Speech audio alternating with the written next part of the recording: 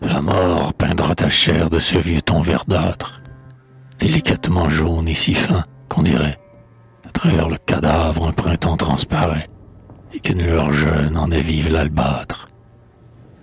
Et recueilli du cœur, des yeux et du cerveau, sentant pâlir en moi, comme un feu de lumière, le souvenir trop net de ta beauté plénière, j'irai m'agenouiller devant ce corps nouveau.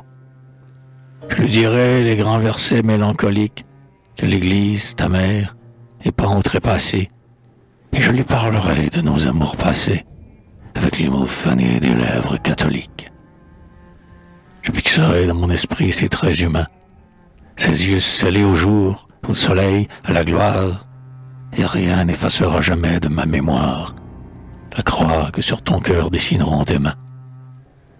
Et pour réaliser ton suprême souhait, le soir, dans la piété des chrétiennes ténèbres, je sortirai ton sein de ses voiles funèbres, et je le baiserai tel que la mort l'a fait.